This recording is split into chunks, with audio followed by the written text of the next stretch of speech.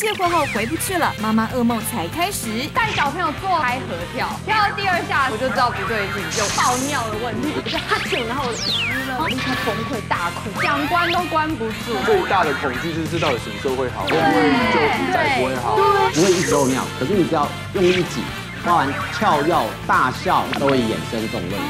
自然生产是剖腹生产的，包括三倍的大哦。今天晚间八点，妈妈好神，东森超市三三频道。